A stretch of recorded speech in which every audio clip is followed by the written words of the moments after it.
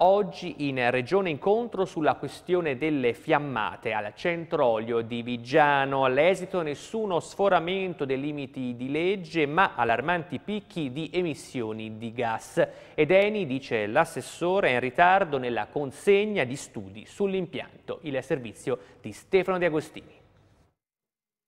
Fermo restando che i limiti, così come ha asserito l'ARPAB, sono rimasti sempre sotto soglia, però ci sono stati dei picchi eh, in termini di aria e di rumore che ci preoccupano. Per poter analizzare nel dettaglio queste questioni è chiaro che mancano degli studi che ci doveva fornire l'ENI rispetto agli impianti che eh, ritardano ad arrivare. Il tema dell'incontro, le recenti fiammate al centro olio di Viggiano, tre in soli cinque giorni, accompagnate accompagnate da rumore, vibrazioni e cattivo odore. Dunque nessuno sforamento dei limiti di legge, ma preoccupanti picchi di emissione di gas. Il 9 settembre, dati ARPAB, gli idrocarburi non metanici hanno raggiunto il massimo orario di 2400 microgrammi per metro cubo, un valore circa 20 volte superiore rispetto ai giorni precedenti. È possibile, così come abbiamo ricordato a Leni e ribadito, che da inizio dell'anno si sono oh, verificati cinque fenomeni di questo fatto, quindi